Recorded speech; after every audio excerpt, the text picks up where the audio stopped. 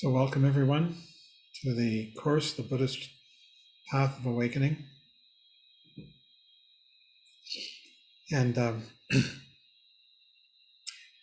we are working our way through the three volumes of The Profound Treasury of the Ocean of Dharma.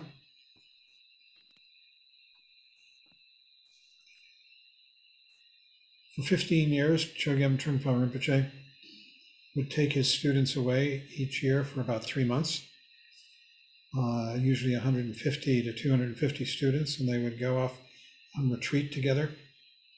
And there would be periods of pure practice, and then there would be periods of study when practice was mixed with study. And during those study periods, he would lecture in the evenings. Those lectures over the course of 15 years have been collected and digested into these three volumes that we are studying. Um, each volume corresponds to a different phase of the seminary program that he did each year. They were divided into the three vehicles or yanas of Tibetan Buddhism. The first is the Hinayana, the so called lesser vehicle, which he preferred to call the foundational vehicle. The second is the Mahayana, and that's what we are studying now. We're on volume two, which covers the Mahayana. And the third is the Vajrayana, the adamantine or indestructible or tantric vehicle. And we that's in the third volume, which we have not begun yet. We are waking our way through volume two. We are up to the chapter um, on um, Shunyata, and we'll start tonight. Michael is going to lead off. So the chapter we read is uh, titled Prajna. And just to frame what we're talking about a little bit, the um, prajna really refers to the seeing, but especially the knowing quality of awareness that we experience. And as Trungpa Rinpoche has said in previous talks, uh, it develops out of shamatha vipassana practice. But it's important to remember that all of the paramitas, generosity, discipline, patience, exertion, and meditation, are, are involved with or entail shamatha vipassana practice. So it's all of this, all of the shamatha vipassana practice, including the five paramitas that bring us to the point of um, prajna. So on the one hand, prajna is inherent in us. It's not something that we need to create or that we're lacking, but it is something that needs cultivation. It's something that um, will grow under if we work with it and allow ourselves to work with ourselves as well through the practice of meditation as well as through study. But it's something that we experience even with a little bit of meditation practice, even with a little bit of meditation practice, we know the difference in our experience of what it means to be present as opposed to what it means to be distracted. There's a, a very distinct difference that we know just intuitively, experientially.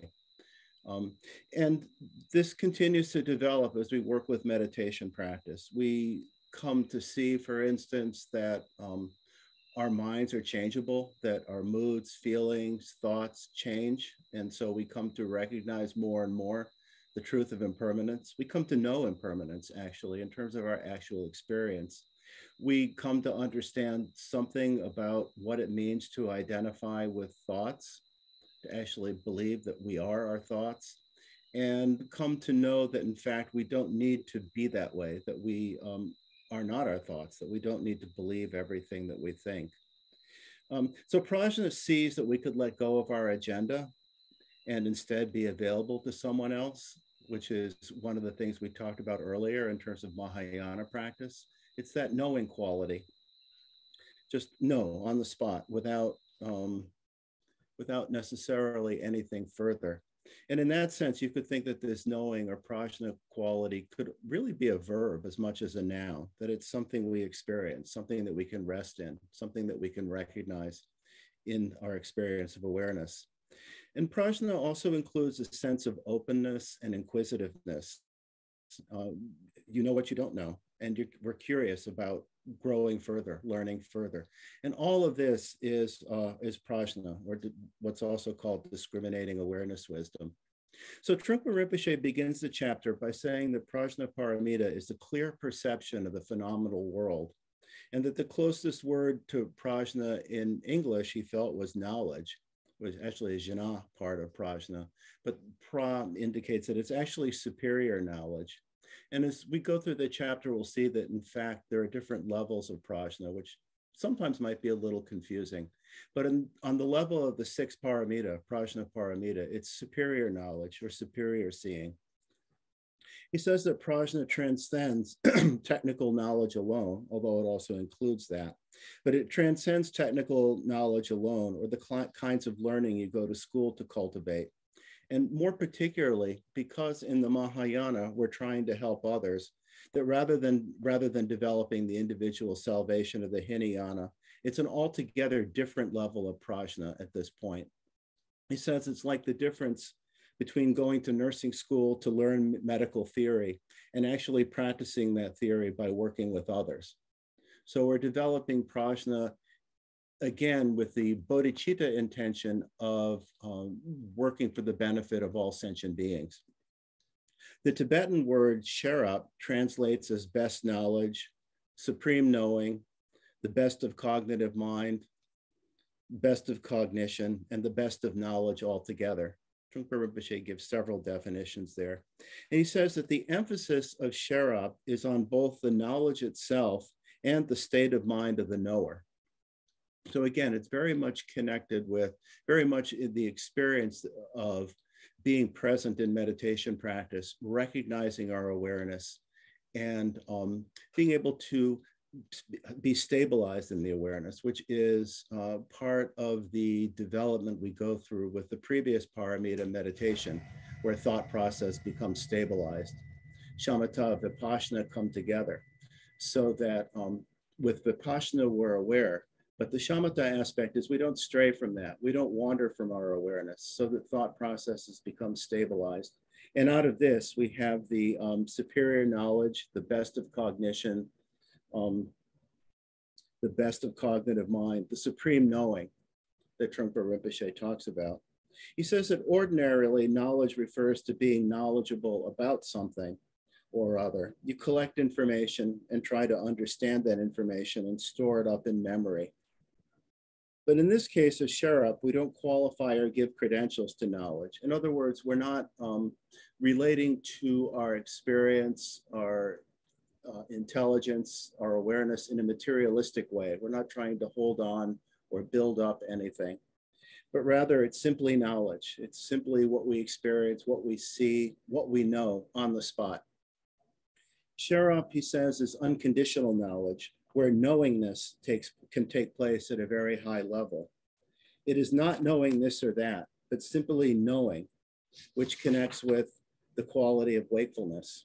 So again, we're talking about, as he said earlier, the state of mind of the knower. We're talking about what we might we might ourselves experience in a moment of prajna. So the sherab is very directly connected with waking up, being present, not being lost in dream or distraction, or preoccupation. He says that Sherab is not described uh, in terms of technicalities or information, but in terms of simply being there with knowledge, simply being awake, simply being present. Sherab is the state of knowingness, the state of wakefulness. He also says that Sherab refers to the uh, subject and object coming together. So again, there's a sense of non-duality or dissolving of twofold ego, which we'll talk about later.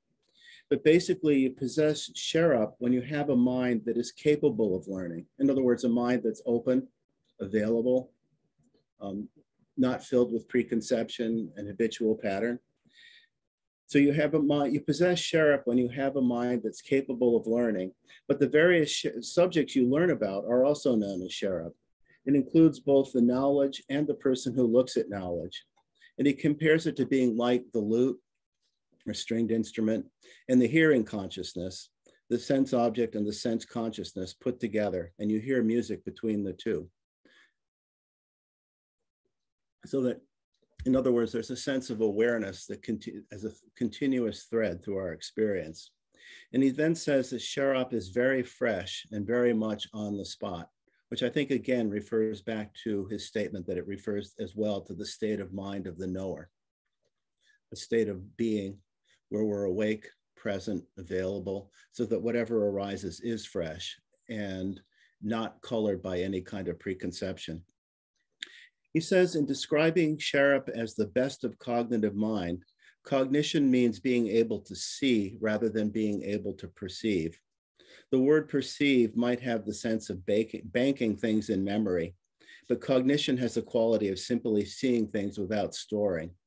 The senses don't have to be captured and restored. So again, we're talking about not taking a materialistic or a grasping approach to our experience, but simply allowing ourselves to be with our experience in the moment and not getting caught up in any kind of preconception, any kind of grasping. Fundamentally, he says, the sense processes could come and go like anything else in our state of being. He says capturing is what our parents told us to do and is how we've been educated, but it's a bad habit. So here again, he's talking about the habitual patterns that we have where we fixate on experience, label things, solidify things in two, terms of twofold ego. Um, again, grasping and fixation. And instead, we're talking about this, that the sense uh, processes could come and go like anything else in our state of being. But when we do capture and when we do uh, attempt to hold on and store things up, he says that is what's called samsara. We just take in and churn out, take in and churn out. And he says this is like pissing on the ground so that it goes into the rivers and we end up drinking our own urine. Which again, I think also, um, if you think back to what we studied Kunzup, he talked about the incestuous quality of Kunzup and how things just become um, put together in, uh, really neurotic ways. In contrast to this, he says the experience of prajna is fresh. It occurs and it has happened, and that's it. It's like the Vajrayana concept of nowness. Nowness is like getting fresh banknotes and spending them on the spot. So in this case, we're being told not to fixate, not to grasp, not to hold on, and that the experience of prajna is our ability to recognize that we could let go. He says cognition goes beyond the level of the alaya vijnana, which again is the storehouse consciousness, the eighth consciousness, unconsciousness, where habitual patterns, karmic seeds are stored, or the alaya conscious, consciousness. It is just seeing. And he says that seeing is not necessarily visual alone. It's any first beam that projects out, be it vision, hearing, touch, or whatever. So very much on the level of first thought before there's any kind of attempt to um, label, grasp, hold on to any kind of experience. And he further says that cognition could accommodate anything. It's, he, he says it's somewhat related to recognition or recognition, I guess, as if you've seen your own nature before. And the idea here is that we recognize when, again, we know that there's a difference between when we're awake and when we're distracted, when we're preoccupied, just as we do when um, in the in the practice of meditation, when we um, have a moment and realize that we've become distracted or preoccupied, in that very moment, we're back in awareness. And we know what that is. It's, um, it's like meeting an old friend who we recognize right away because we're, we just know. He says, in this place, cognition is the subject and knowledge is the, is the object. Actually, this came up, I uh, reread the um, 1982 seminary transcript talk on prajna. And uh, some of what he says in this section actually comes out of the questions and answers. So I actually want to read the actual question and answer. It was not part of the talk itself, but it was actually in response to a question. I guess my question is, how do we re relate to this in terms of our own experience?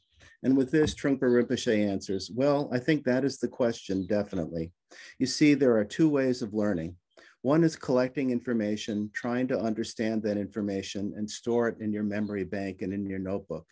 In understanding, in understanding shunyata, this kind of learning is not ap applicable. It is simple.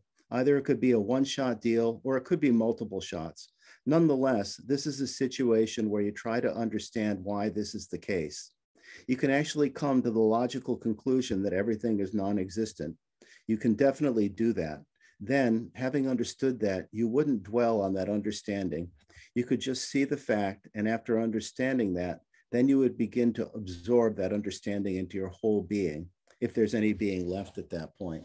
So what he's talking about, I think, is that we, again, we have these moments of insight, these moments of clarity, but it's important that we don't possess or hold on to them, that we continue resting in a state of knowing rather than getting fixated on what's known. Um, he says the basis of prajna, to continue with the chapter, he says the basis of prajna is that you're fully trained in the practice of sitting meditation. Inspired by shamatha and vipassana, you are able to develop wonderful paramitas. And with prajna, you are actually able to put them into effect. Prajna shows you how to develop ideal compassion that is sharp and precise. He also says that prajna is said to be the medicine that will free us from the sickness of the two veils that prevent us from going beyond samsaric bondage, which are conflicting emotions and primitive beliefs about reality. So conflicting emotions refers to the kleshas, uh, primarily passion, aggression, and ignorance, but there's all kinds of secondary kleshas that develop out of passion, aggression, and ignorance, like resentment, jealousy, and so on and so forth. And we begin to see through all of that with prajna. Prajna cuts through that. And the primitive beliefs refers to um, what we um, spoke about in the chapters on um, emptiness before, the beliefs in eternalism, in other words, attaching some kind of solid, permanent, ongoing identity to ourselves and to things in the world around us. Uh, and its opposite, nihilism, that nothing exists. And um, so basically, Prajna cuts through both nihilism and eternalism. He says with Prajna, the way to relate to the world and with obstacles is to view them as temporary fever or flu. So the idea is that whatever obstacles we experience, they're not fundamental to our being. Our, uh, our basic being is basically good. Our being is basically Buddha nature, bodhicitta. And whatever obstacles develop are secondary to that or obscurations on top of that. But with prajna, we can be free of them, just like um, washing off something from a dish that's become dirty and then it's clean again. So the idea is that obstacles are temporary that it's, um, and we can see that with prajna. The next section was skillful, skillful means and prajna. The skillful means um, refers to the first five paramitas, generosity, discipline, patience, ex, uh, exertion, and meditation. And he says prajna cannot develop without the rest of the paramitas. They work together. The first five paramitas are known as upaya or skillful means, but skillful means also, also need wisdom or prajna. By joining skillful means and upaya, prajna and upaya, uh, sorry, by joining prajna and upaya, Mahayana is superior to the Hinayana. He says prajna is connected with the feminine principle and upaya with the masculine principle. But at this point, it's prajna that makes the uh, other paramitas transcendent actions, ones that transcend the actions of ego. It's prajna that allows us to, um, for instance, practice the threefold purity of no giver, no gift, and no recipient with generosity. Or it's prajna that, for instance, in regard to uh, discipline and patience, uh, might allow us to see that someone else's aggression is actually coming out of their own pain and allow us to um, respond to them in a way that uh, is compassionate rather than reactive and aggressive in response to their aggression. So again, it's prajna that really brings to life, you could say, or uh, brings to full completion uh, the, uh, the, the paramitas. At the same time, is this the paramitas that ultimately allow us to develop passion, uh, compassion, uh, prajna. Slow down a second. Um, so the idea is you could say that the paramitas are recursive. The five paramitas help us develop prajna, but then also prajna feeds back into the five paramita, the other five paramitas, and kind of uh, brings them, brings them fully to life. He says prajna is sharpness. It is said to be very precise and clear. Prajna has passion and directness, and upaya has the resources to work with prajna. And then he says upaya without prajna would be ineffective, like the sun without rays. He says that the first five paramitas, again, generosity, generosity, discipline, patience, exertion, and meditation, free us from the samsaric world, but they can never enable us to go beyond the tr transcendent world. The Mahayana concept is not to dwell in either the samsaric or the transcendent world, or in other words, not to dwell in either um, samsara or nirvana. He says you have to go beyond both nirvana and samsara to be a benefit to others. He also, another metaphor for the, uh, or analogy for the, um, the paramitas is that prajna is the ocean to which the rivers of the five paramitas flow. Without prajna, he says, it's impossible to attain enlightenment because you have no way of viewing your journey, no way of looking at your path. You would be like a blind person trying to enter a big city. So you start with skillful means, generosity, discipline, patience, exertion, and meditation. Practice those as they're given to you. And then you begin a big reviewing process. You question what you're doing with all of these. In doing so, you're developing prajna, which allows you to look back at the whole thing properly. Practice first, then you figure out what you're doing afterward. And in this regard, there's a, um, a, just a, a, couple of sentences, again, from the seminary transcript that I don't think were in this talk, but I think that are interesting in regard to what he says about this reviewing process. And I think they also speak to the inquisitive nature of prajna as well. He said that prajna is discriminating awareness wisdom, which can discriminate every detail and particle of the world's existence because the process and processor are never stuck in any one biased state of existence at all. Therefore, because there is no doer and nothing is being done, you're able to examine and look through the entire world. And therefore, you can do the best research of all. In the next section, he talks about prajna and shunyata. And he says prajna has allegiance to shunyata or emptiness. In fact, he says, without that connection with shunyata, it would be completely overwhelming if there were too many clear perceptions. But clear perception qualified by emptiness is stable. So shunyata is as solid as much as it is empty.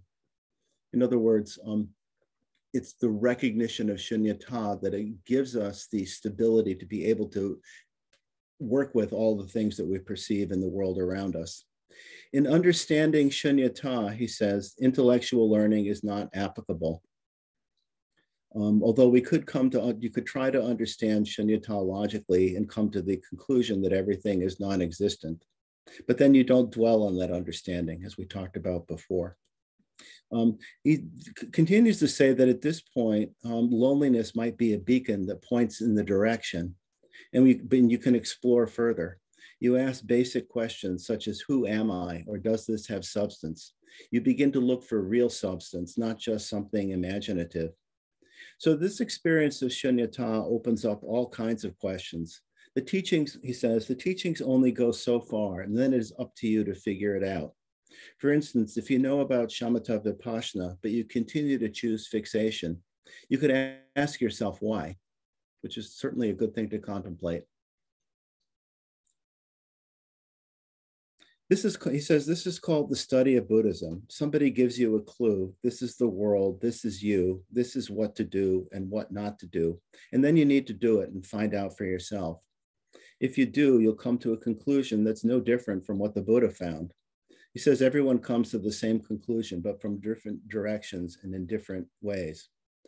So the question is the answer.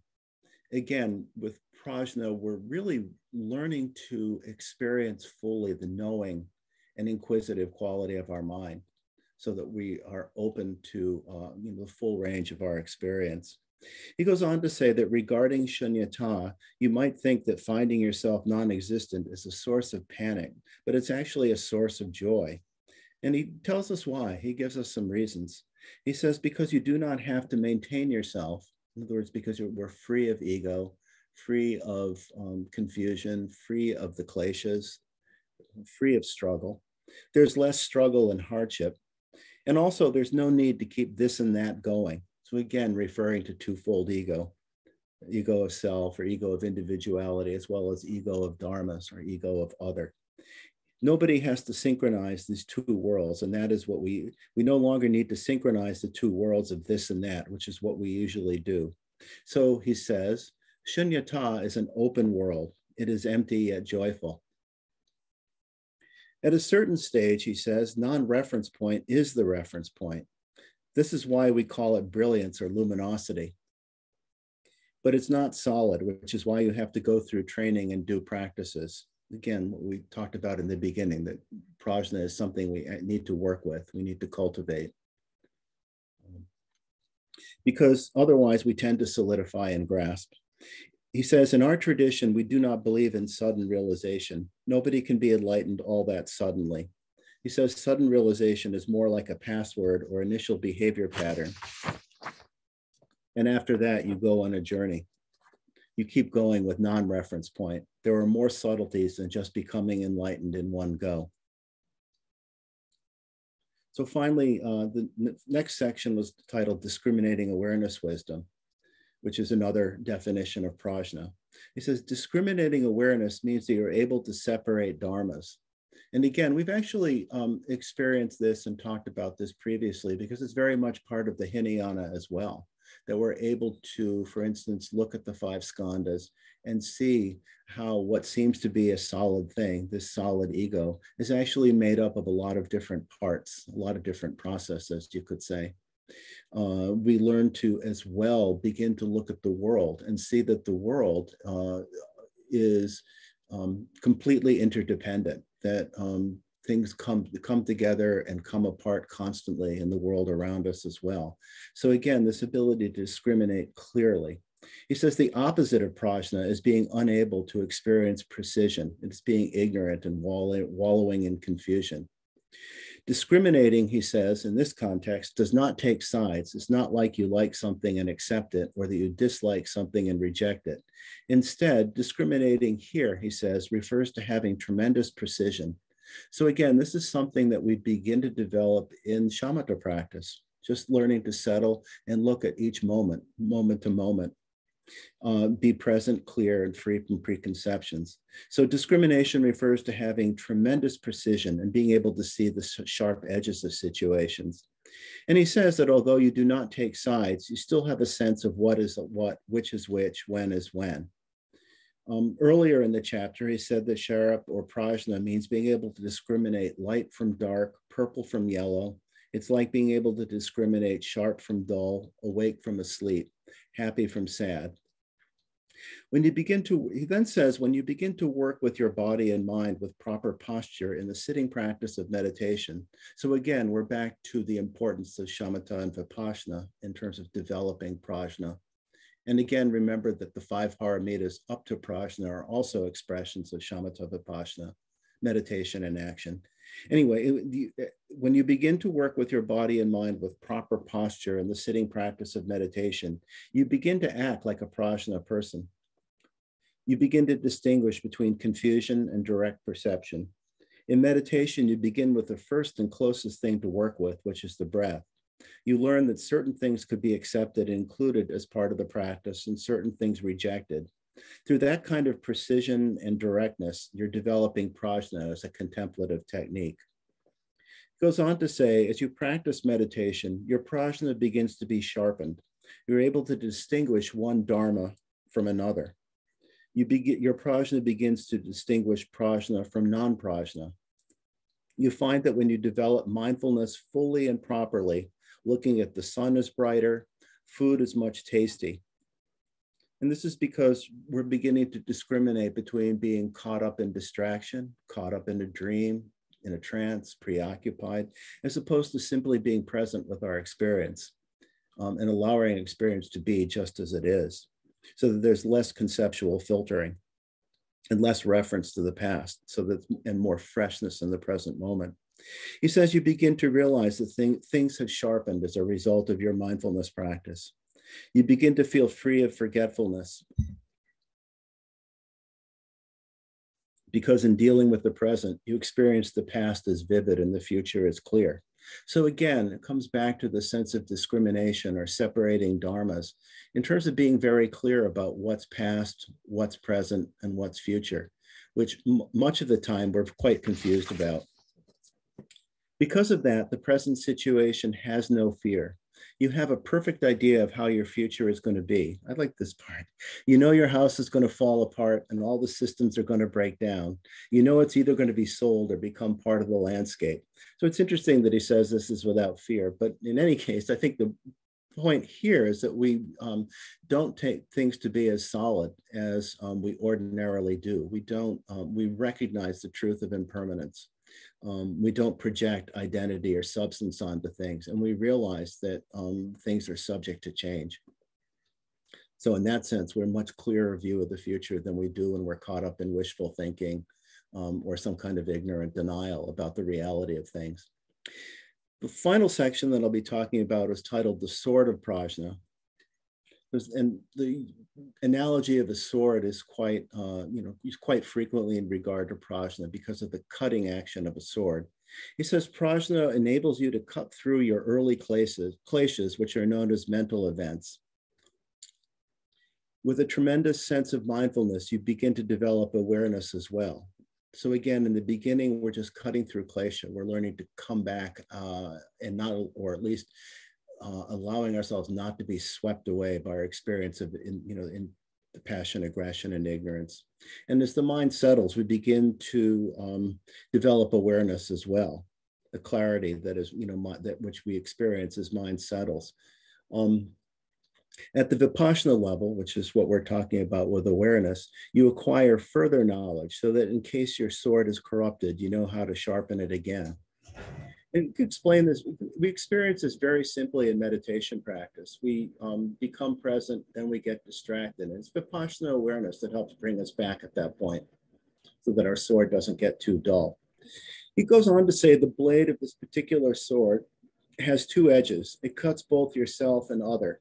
You can cut the frigidity and fickleness of your own existence, the sense of individuality that you hold so dear, this cherished I, the ego you cut it to the core, not in suicidal terms, but, in, but from the point of view of delight. Impurity has been purified. And then, so that's one aspect of the, the blade of the sword of prajna. It cuts through the ego of individuality, the ego of self. And then he says, having struck with one side of the blade, we strike in the other direction. We begin to realize that the outside world we're creating is precisely the same as that which we create in ourselves. In other words, we come to recognize that just as egolessness is our true state, so too is the egolessness of dharmas, the egolessness of others, the egolessness of the world around us. So prajna cuts through both. Having cut both ways, we experience shunyata, which he says is the absence of random labeling and samsaric perception or kuntak, which we talked about in previous chapter. We find that we're without kuntak or false conceptions, no kuntak here, no kuntak there, no kuntak everywhere. Um, and just for reference, I actually looked up the uh, chapter on kuntak, and I'll just read two sentences from that to help with the definition of it. He says, we apply kuntak by attaching ourselves to a certain idea and then trying to perpetuate it so that the world will appear the way we want it. Things are just a fabricate, then things are just a fabrication of reality rather than actual reality. So the sword of Prajna cuts both ways. And rather than dealing with the fabrication of reality, we end up working with, looking at, being in actual reality. Then the last thing I'll say before I turn it over to um, John for the remainder of the chapter is just a little piece that actually comes from the um, Hinayana text, The Path of Individual Liberation, because the last three chapters in there also deal with prajna. And what he says in the, the final chapter, which was titled Taking the Teachings to Heart, which is worth multiple readings, is prajna wakes you up and makes you more open and fascinated in the right sense. Rather than being based on intrigue, greed, or the desire to make yourself comfortable, this fascination is based on first thought, best thought. With prajna, your vision begins to expand, not through struggling or feeling that you ought to expand your vision, but through a natural sense of connection with the world around you. With prajna, the teachings of the Buddha become a natural part of you, as if the Buddha were talking in your brain. So, with that, I'll turn it over to John. And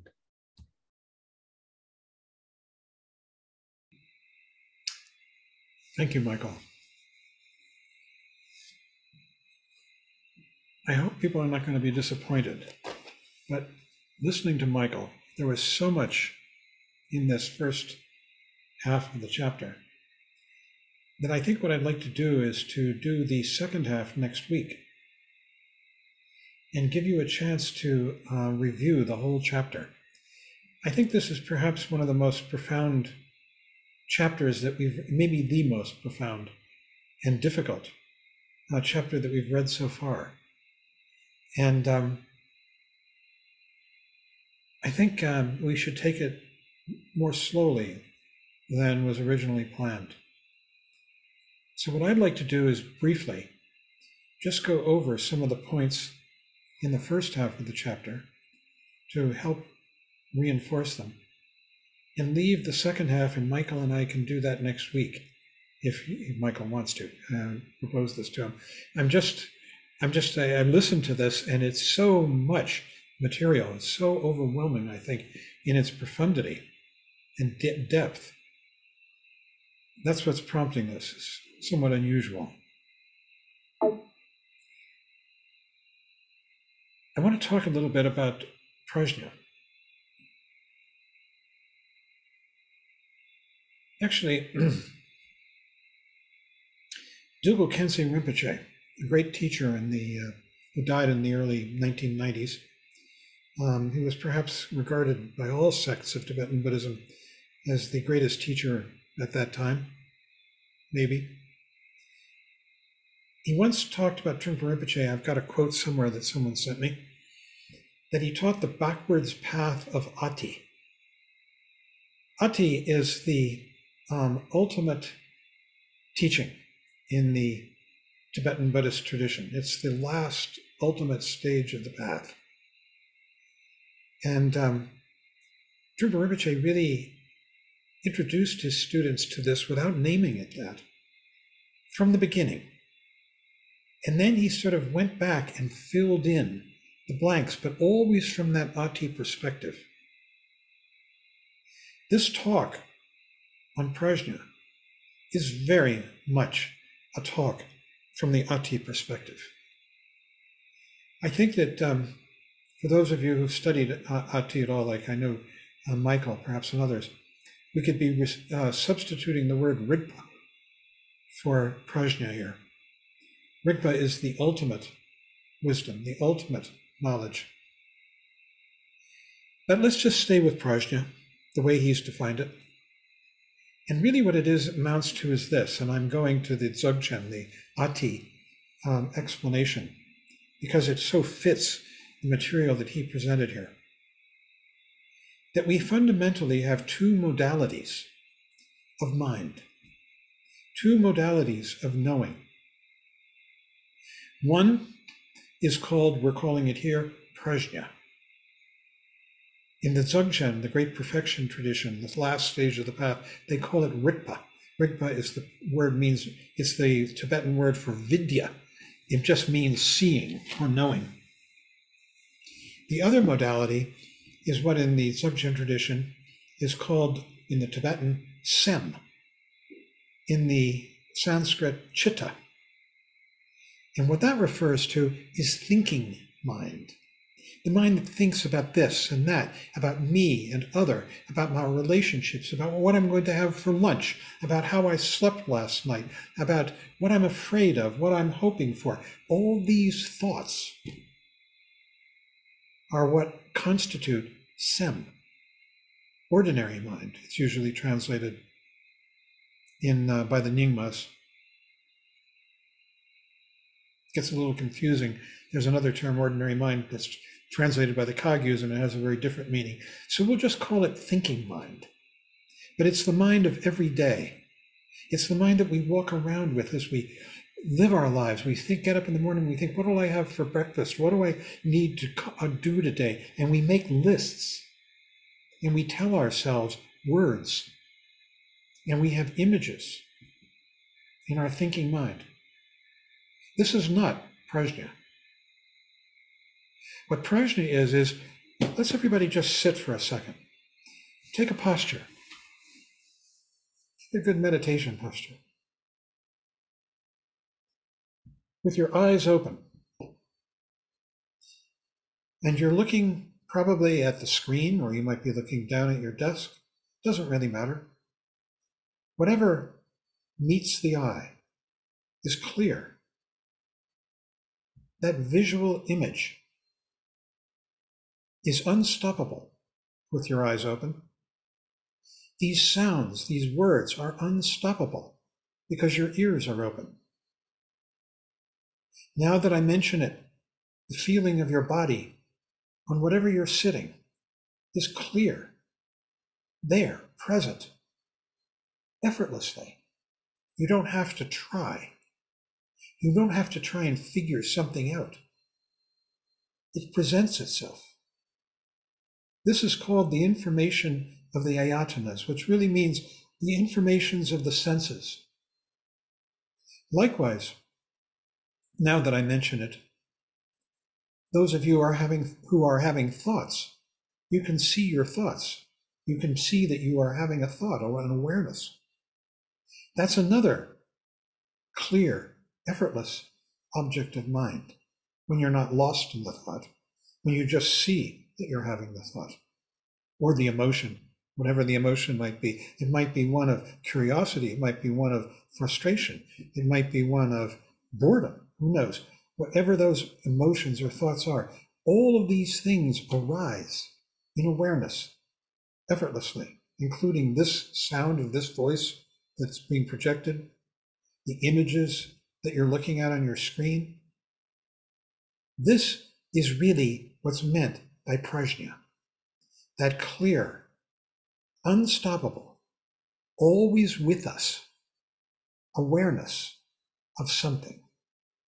And what it's aware of are the six knowables sights, sounds, the occasional smell, taste, bodily sensation, and the mental events. These things arise in awareness unstoppably. And this, you might say, is prajna. The awareness that sees these things with no effort at all. And then we get lost in thought. I tell you, calculate for me the product of 17 times 28.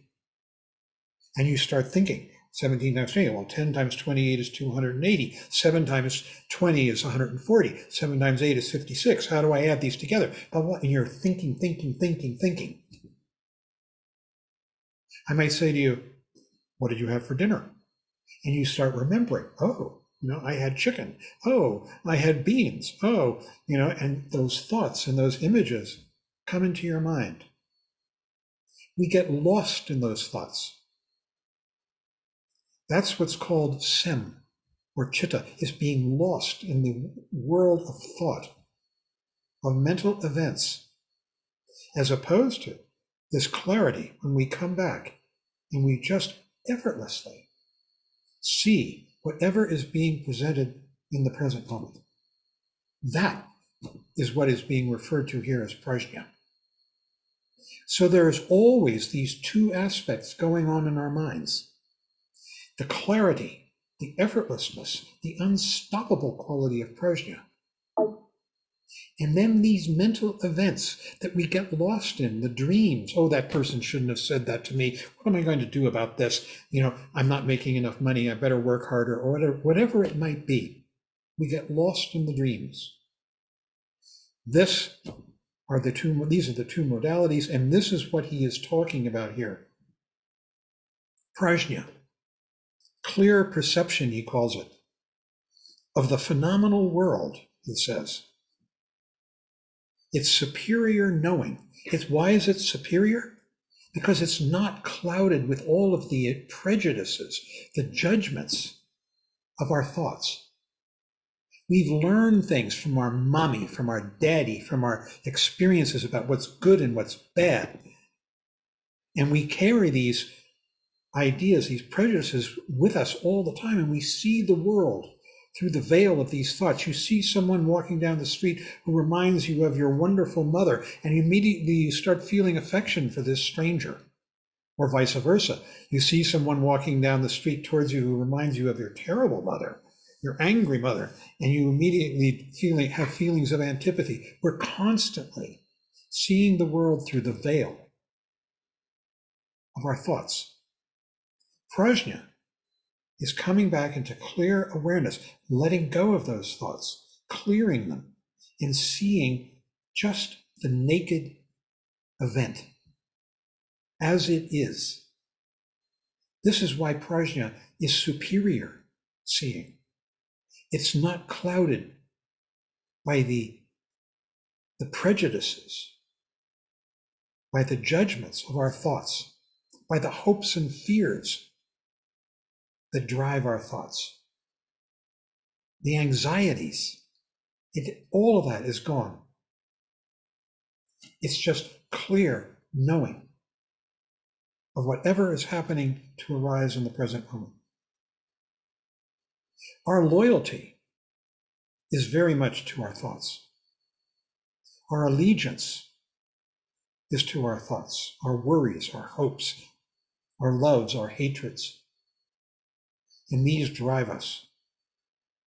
And what this path is about is about switching one's loyalty from all of the judgments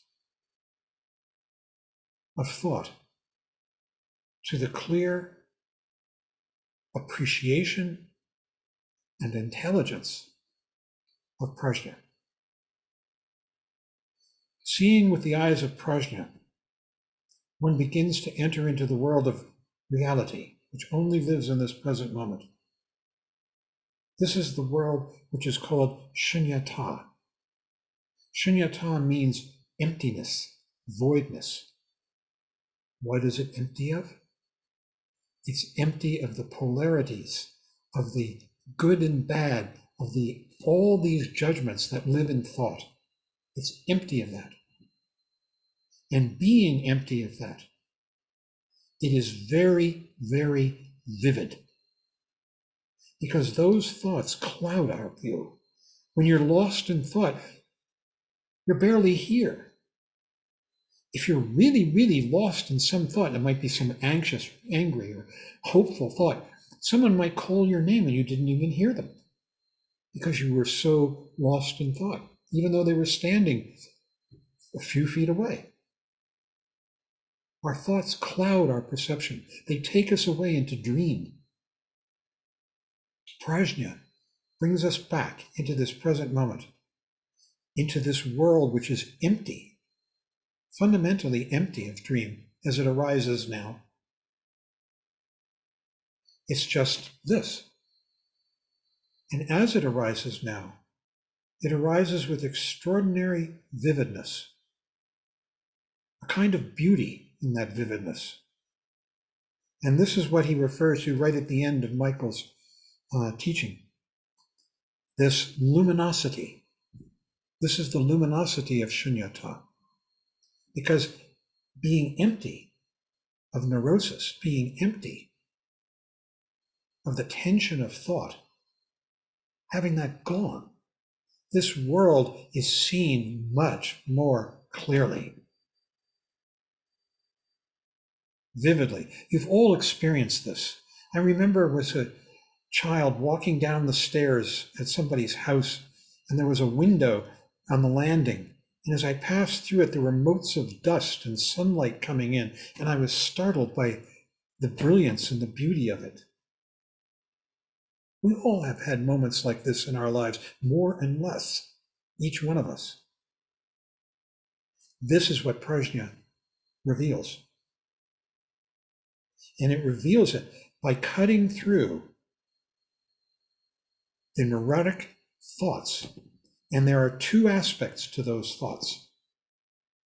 This is why the sword of Prajna is, has two blades. It's a two bladed sword.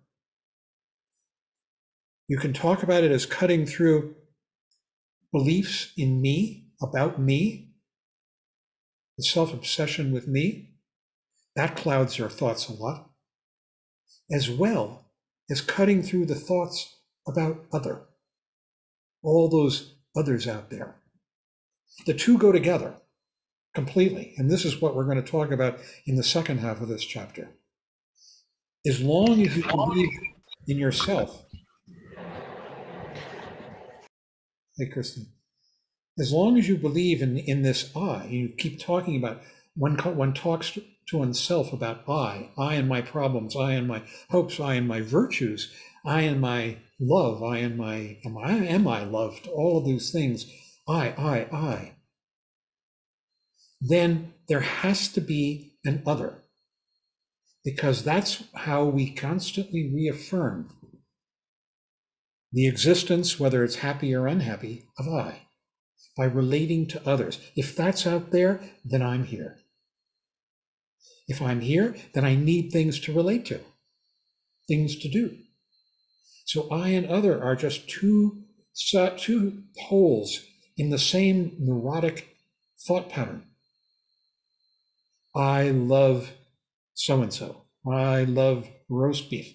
I love sunny days. Um, there's always the I and the other. I hate this. I'm jealous of that. I'm envious of this other thing.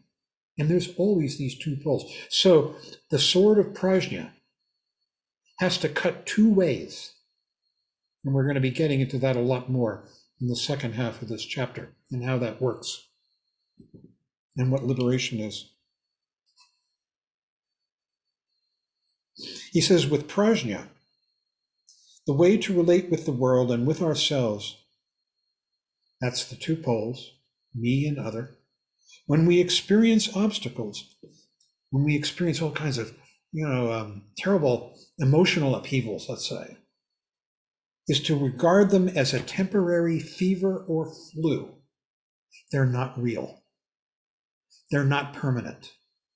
They are temporary flus.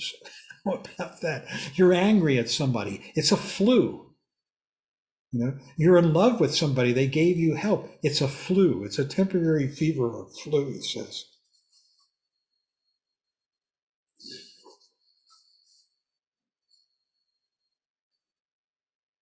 And then the nature of prajna is that it has allegiance to shunyata, to emptiness. The two go together. You can't have emptiness without prajna. And when you have prajna, it brings the emptiness because it brings the absence of the neurosis. And you begin to see voidness. Voidness of what? Voidness of neuroticism.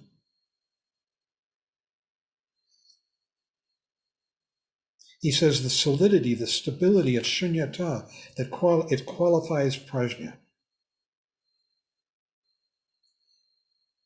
If you want to know prajna, you need to understand shunyata. And many of us have had glimpses of shunyata, not really knowing what it was. Some gap in neurotic mind where the world appeared very clearly, vividly, as it is, beyond our preconceptions, beyond our judgments, with a kind of sharpness and immediacy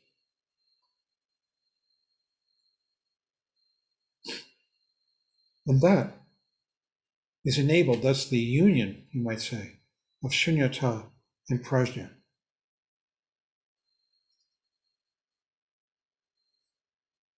What else is there to say about this?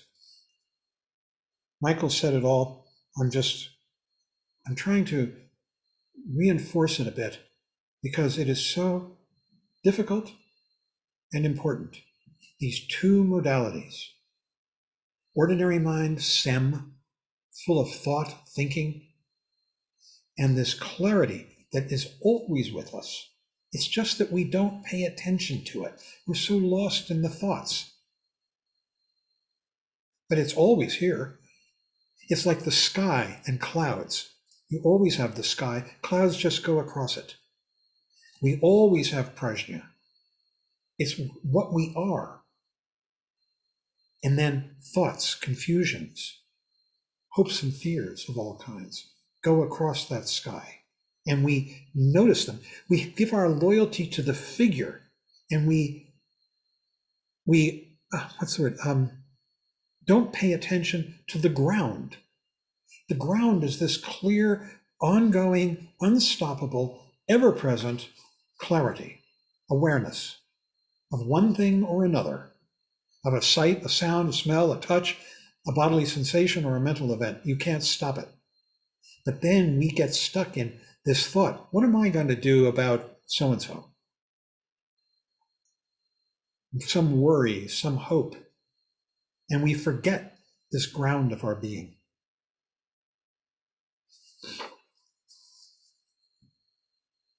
He says, at a certain stage, non reference point, that means giving up I and other, giving up the thoughts, those plans, those, those dramas. Thought is always, always about drama, a drama involving me and the world, me and other. it's the old drama. You know, um, She's tied to the train tracks. The train is coming. Will she be saved?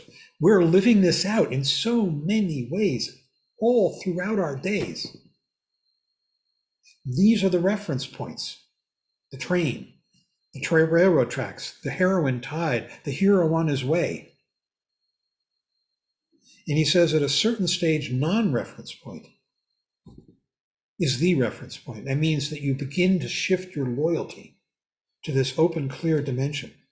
And that's why we call it brilliance or luminosity, because we are no longer obsessed with our thoughts.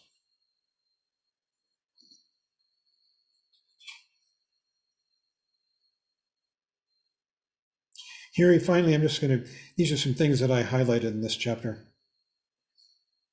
He says, it is about having tremendous precision. Is prajna Everything is bright and beautiful, and you know what is what. He hasn't talked about there can be fear on the part of sem, thinking mind, because you're giving it up. Because you're giving up reference points, knowing who you are and where you're going.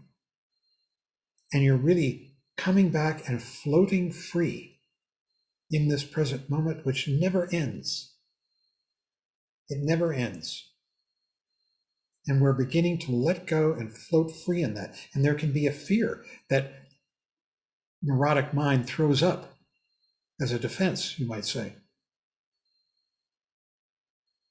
But the beauty of shunyata constantly, as it becomes more and more apparent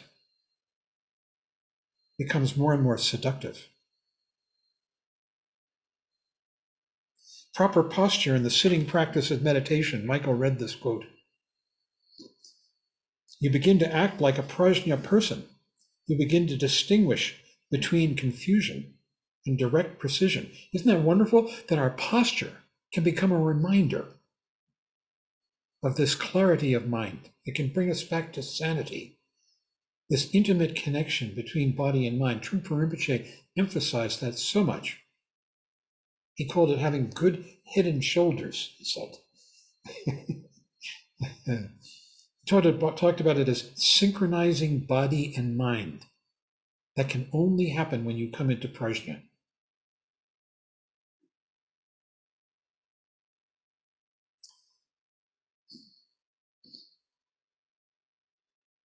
He says, Your senses are heightened with prajna. Things have sharpened as a result of the mindfulness practice. Mindfulness means when we sit and meditate, we're coming back into prajna again and again. Oh, I was thinking. I'm back. There's the breath going out. Here's space. And we come back for a moment, for an instant. Maybe it's still clouded by a little bit of self consciousness, but that's wearing out.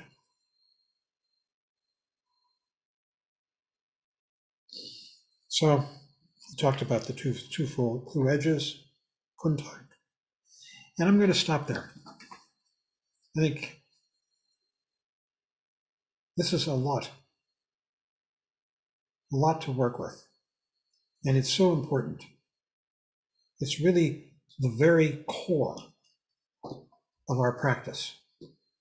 When you talk about being a Buddhist, what it means fundamentally is coming back into the world of emptiness, of shunyata, of prajna, and then we're going to get to it, of compassion. and of acting skillfully for the benefit of ourselves and others. All that rests on this shifting of our allegiance from neurotic mind, the mind of self aggrandizement self protection and fear and depression, to the mind, the aspect of, shun, of prajna, clear seeing, the background. Jim Rinpoche said once, he said, um,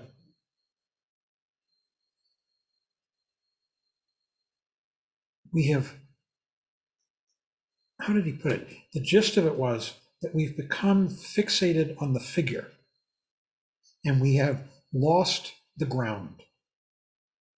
We are thinking, thinking about this, the thought, and we are losing that unstoppable, ongoing awareness of everything that is prajna, that never ends. It's like we're swimming in it. It's everywhere. It's, it's four dimensional space and time. But we get caught up in sin, thinking. It's quite something to shift one's allegiance. It's a very different world, the world of Shunyata. After we finish this chapter next week, we're going to go into the Lojong slogans, which are all about how to actualize this, because this is all very theoretical. And basically, you can actualize it in two ways through meditation practice, and that's one way, and the other way is through study and contemplation, which keys your intelligence. So we could have a discussion.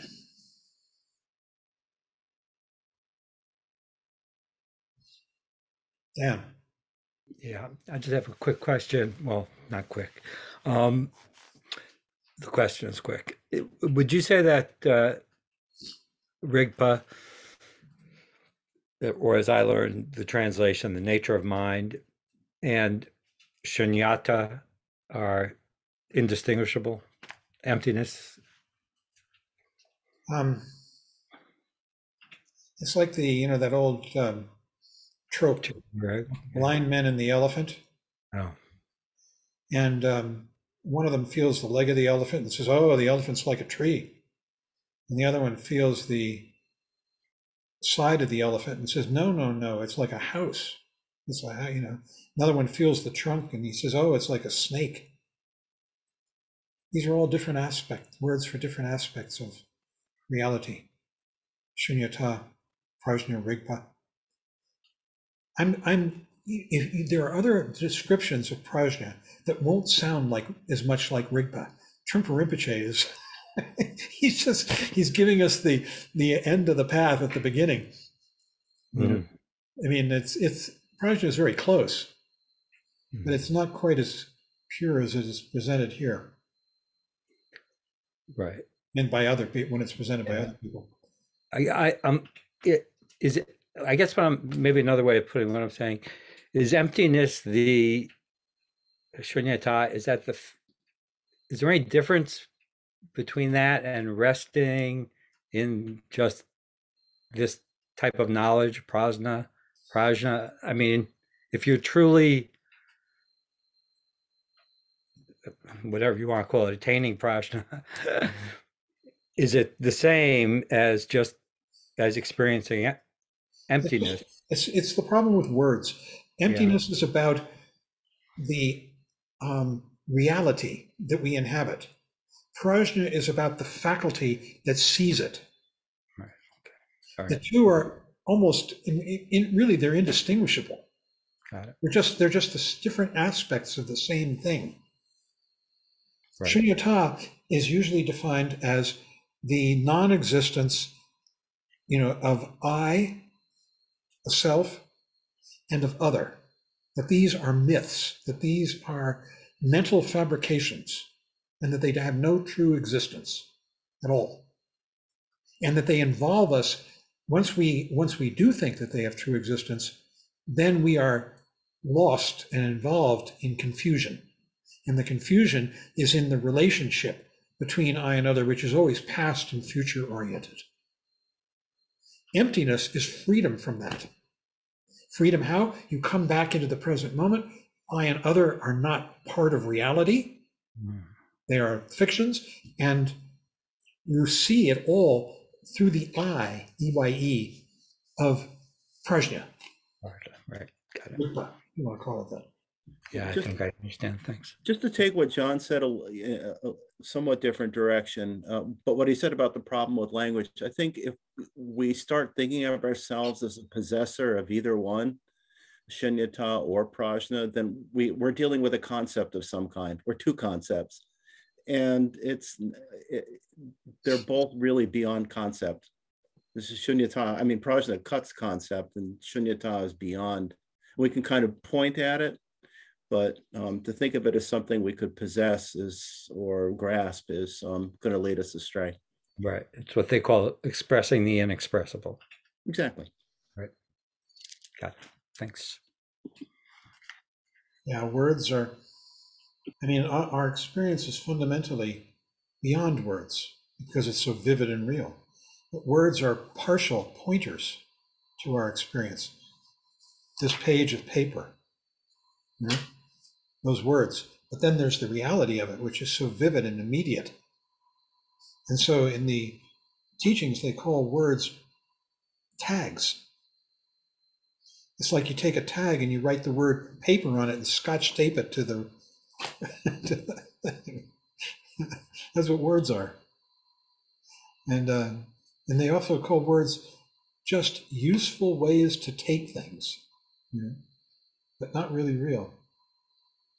Useful at a particular time, place, for a particular person.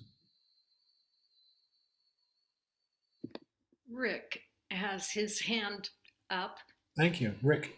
so does Philip. Yep, Rick and then Philip. Uh, yes, I've been, this has to do with uh, words, which I'm, I have a pretty deep sense of the problems with words. But in the, the talk of the present moment or just this, and the emphasis on the ground, uh, sometimes it seems as if there can be a kind of sterilization there, and, and you get it with the self and other. Uh, uh, awareness can be one of the uh, six uh, things, uh, uh, thoughts, even or sensations. But I am aware that there are people in Lexington tonight in danger of being evicted, as well as homeless people who may not be able to find shelter in this cold weather. Now, first of all, I have just referred to other entities, those people. Now, does that get into a problem that I am thereby creating a me, and this is off ground? Uh, You know, this is a problem. Um, and in, you know, in general, clearly, with compassion and the whole drift of the teaching, you want to end up trying to help people. So I, I'm a little perplexed. And and again, when in the spinning of words, uh, the relations of, of the the just this or the present moment can't be sort of is is at the same time it's a vast ground. It can't be sort of a sanitized thing in a jar, protected from or cut off from actual experience in the world. Michael, you want to address it or shall I? I'm thinking about it a little bit. I mean, in one sense, I think what maybe partly what you're talking about is the danger of nihilism, uh, of saying that uh, because things are empty and don't have substance, then nothing matters, which is also um, an extreme belief that Prajna cuts through. So, um, regardless of how well or poorly we might understand ultimate truth, we still have to deal with relative truth and that beings do suffer and that that um, is a meaningful experience. It's not, shunyata doesn't mean that nothing's there. It does mean that things are there that in a different way than how we conventionally take them. Um, you know, and you know, so for that reason, that's why um, compassion on a relative level is, and an ultimate level is so important. I'll let John take it from there. That's my stab at it. Thank you. I think um, the neurotic mind, the thinking mind, is very much involved with I. The open mind of shunyata is just dealing with what is real in the present moment. And it's much more available that then one becomes, if, if you can even talk about one, much more available to re- respond to the needs of the world. And that's why shunyata is so linked with compassion, true compassion, not a feeling sorry for, but an open responsiveness of heart to the needs of this world, to the beauty of this world, with its pain and its pleasure. And so the bodhisattva, the person who lives in this world of shunyata and prajna, is much more responsive, kind, open um, to the needs around him or her. So I don't think, I, I agree with you, Rick. Absolutely, shunyata doesn't mean that we become solipsistic and self absorbed, cut off. Quite the reverse. We become much more open, and they talk about the development of both compassion and what goes with that is skillful means. And what skillful means means is responsiveness, accurate responsiveness Yeah. to the requirements of the world. Mhm. Yeah. Mhm. Yeah, it's, it's, um, for example, though, in the phrase, uh, like, it, there's only this moment. What? And then in the phrase, there's only this moment, and then, then it's all start, it's over again and all that. There, I can see temptations, again, it's a matter of the words, that to cut this off from, you know, the, the suffering on the street. this word this this moment now contains the past and the future. We all got to this place from the past and we're all going to go to bed in the future. It's all here in the moment. As well as everything that's happening around us the suffering and needs of this world yeah no it's yeah. so thank you Thank you. philip So uh, thank you, John and Michael, for your teaching and, and Rick for your very good question. And I'd like to get back to that with skillful means, but even more, I'd like to get back to what Dan was talking about. And this may uh, just break down again in terms of words, but isn't it true that when we meditate and we try to uh, just inhabit awareness, egoless awareness, isn't that shunyata? Isn't that what it's all about? Or isn't that the essence of mind? Or any kind of words you want to put on it?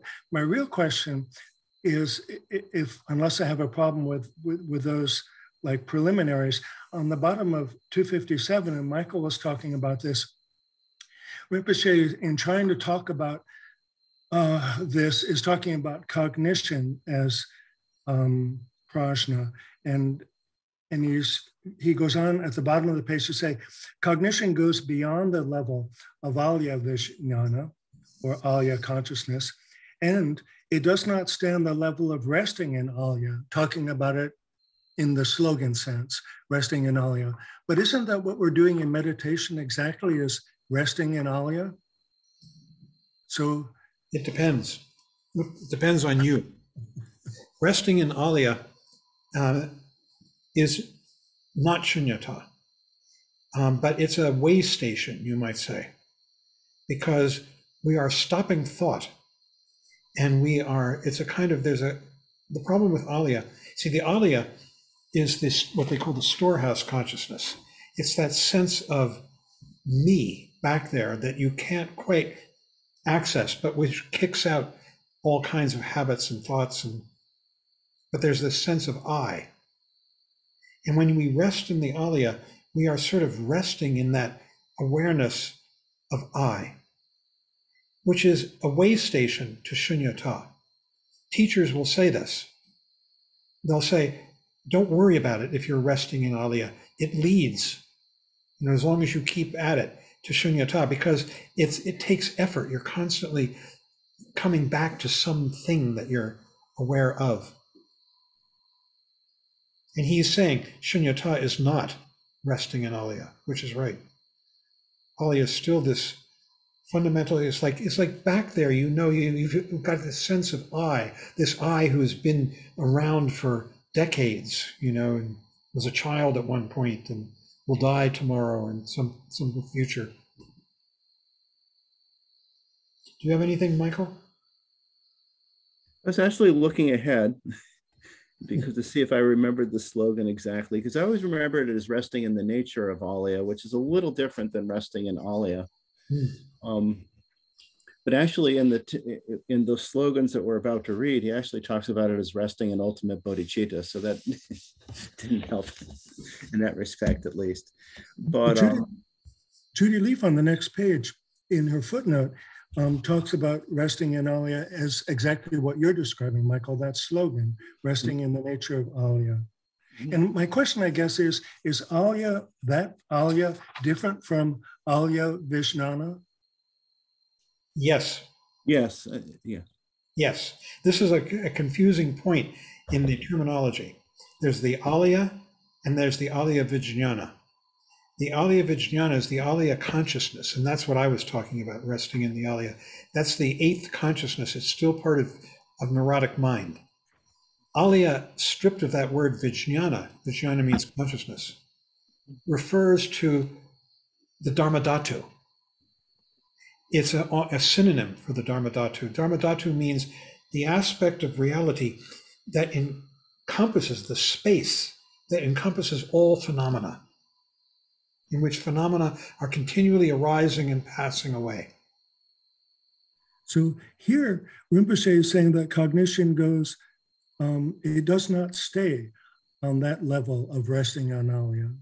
That cognition, and he's using cognition here for Prajna, is beyond that.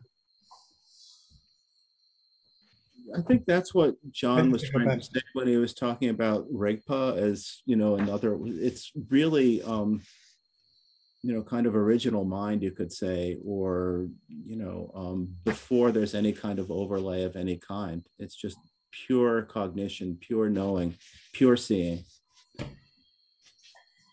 on that level. Whereas with the, especially with the Alaya Vijnana, you're already talking at the point where there's karmic seeds and, um, you know, the beginnings of, you know, the beginnings of ego. And Alaya is something, but something before that. But pure cognition, I think, is just Rigpa, is, is an- another good way to look at it. Just the pure, basic awakened mind before any thought.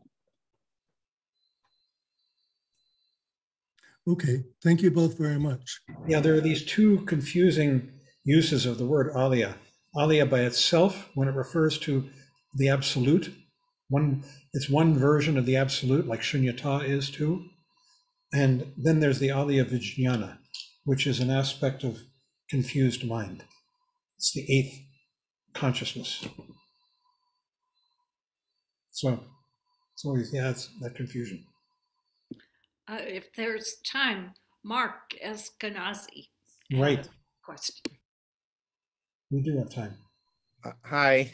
Um, I I was just uh, thinking before about what we were talking about being in the moment and um, yet all the pain that's around us and how we respond to it. And um, it, it's interesting because you can get so wrapped up. But I think that what what you were saying, John, about being doing things, being smart about the actions you do take, and you could do things in the moment for your you know th- there's pain all around us. And if it's helping a neighbor who's just lost their wife you know making a meal or uh, or or writing a check you know to your uh, organization that's helping the homeless or people that are having difficulty uh, these are all things you can do in the moment but i do think there is a potential you can get overwhelmed. I mean we have a world now that it's not you know years ago it was your neighbor. Now it's the world. I mean look at afghanistan. What's going on there? I'm, we don't even want to think about it. It's horrible. And um, I think it's important to do what you can do and also not be drawn into the samsaric world of just being so involved with everything that you lose your mind. So uh, I don't know. That's that's basically all I wanted to say is that we we need to be in the moment and do things in the moment and, and be you know, helpful to others in the moment, but we also need to draw a line. In my opinion. Thank you. Good. I agree. I think it's important to be clear and realistic about what we can and can't do. And when we're not, we end up not being really of much help to anyone. Right. Well, I see no other hands raised. Anybody else before we, oh, Karen Sue. And then Meg. Okay, so see if you can follow me. When John, when you were talking about the thinking mind and the the we're thinking, thinking, thinking, thinking, I had this this awareness that when I was lucky enough to travel and I'd go to this fabulous place and I'd look at the people who were traveling with me and they're all they all have their phones or cameras up to their eyes and they're capturing one small portion of this amazing place that we're at.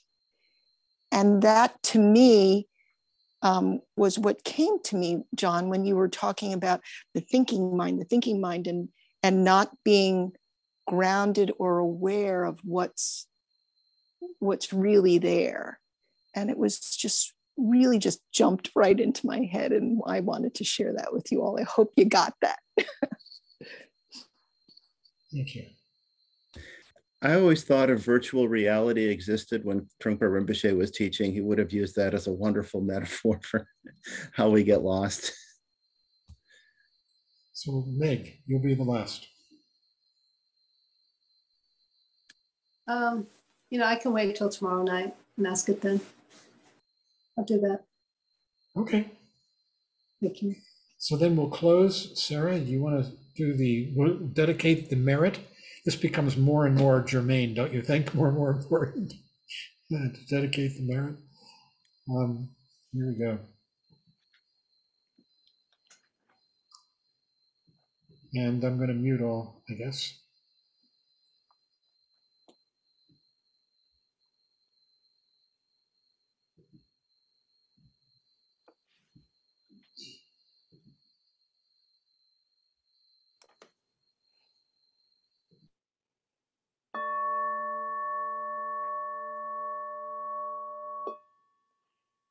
By this merit may all obtain omniscience, may defeat the enemy wrongdoing. From the stormy waves of birth, old age, sickness, and death, from the ocean of samsara, may I free all beings. By the confidence of the golden sun of the great east, may the lotus garden of the Rigden's wisdom bloom. May the dark ignorance of sentient beings be dispelled. May all beings enjoy profound, brilliant glory.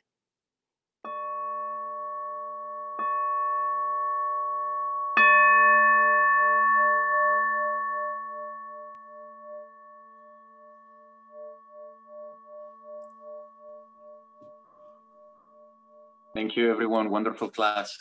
Thank you. Yeah. John, you're. Thank you all.